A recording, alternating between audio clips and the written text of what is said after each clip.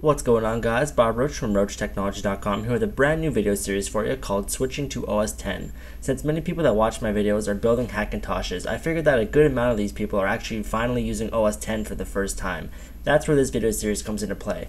Whether you're on a Hackintosh or you just bought your first Mac, this video series is going to cover one tip per video on making the switch to OS 10 as seamless as possible. Now getting to the point of this video, this video is going to cover this guy right down here. In OS 10 we refer to this as the dock, whereas if you're coming from a Windows world we have something very similar down here which is called the taskbar. Now between these two guys there's differences and there's similarities, so let's just go ahead and dive right in. So first I'm just going to go ahead and show you guys some features of the dock. Basically what this is, is just like the taskbar in Windows, it allows you to pin certain applications to it. Maybe these are frequently opened applications or whatever have you. So for example, I'll go ahead and dive into my stack here, which I will get into in just a second. And these are all different applications and folders. These are all coming from the applications folder. Once again, I will get into that in just a minute. But let's go ahead and say I want to pin Firefox, a very popular web browser, to the dock. All you have to do is simply click drag, and there you go. Slides right in, making room.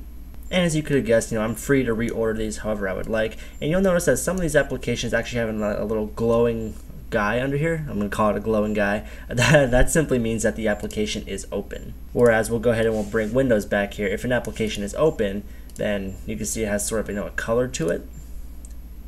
But regardless, both operating systems make it pretty easy to tell which applications are open. And now with these glowing guys down here, if you want to close an application, simply right click and click quit. And now even this screen that comes up is actually sort of like what you get in Windows 7 where you can go ahead and click and hold and like drag upwards and you can see you get more options here. Very similar functionalities and it does vary from application to application on both Windows and OS 10.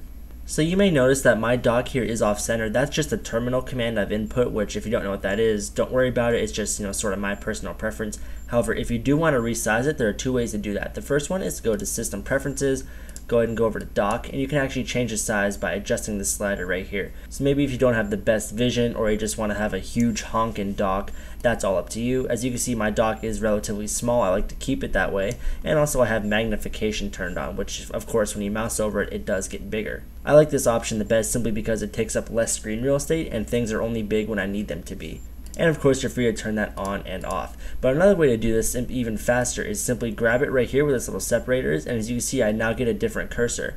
Now, if I click and hold and drag up or down, the dock actually resizes right there. There's actually no need to go into preferences.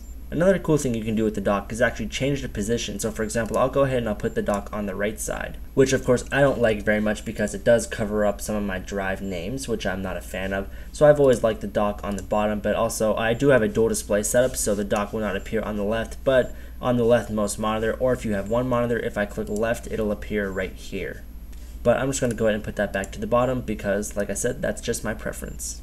Another cool feature of the dock in OS X is the ability to add stacks. And now what stacks are is basically a folder in the dock, but you have some pretty unique access to that folder. So what I'm going to do is open up a Finder window, and in case you're wondering, Finder is just basically Windows Explorer. That would be this guy right here, this Explorer window where you go to Computer, and then you go to Music, and all those different various folders. That's basically all Finder is. And of course within Finder you're obviously going to have folders. So for example I'm going to go ahead and take my movies folder. As you can see I really don't have much here but if I did have a lot here I can simply click and hold.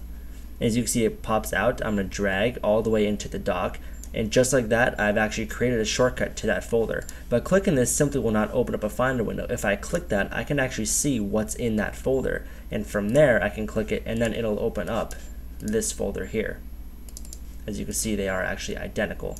So now what I'm going to do is I'm going to go ahead and delete that stack simply by right clicking it, going to options and removing from the dock. And now what I've already done is I've actually created a stack to my media drive which is located right here. Do that simply by clicking and dragging. Now as you can see when I open this up, this is actually much more useful because I have access to many different folders right from here. And now what I can do is I can actually click on these folders and I can go even farther. So I'll go ahead and go to pictures and then here's all my various pictures. So as you can see it's very powerful to be able to see all your folders right from here like this without having to go ahead and open up all these various Explorer windows. So now just a few subtle differences. I'll go ahead and I'll get Windows back over here. The first thing I notice probably is that there's no start button. And really there's no need for it because of the application stack, which is right here. So all my applications are just one click away. You can actually pin them to here if you like, but I just think that the dock is much easier because I can just have all my applications right here.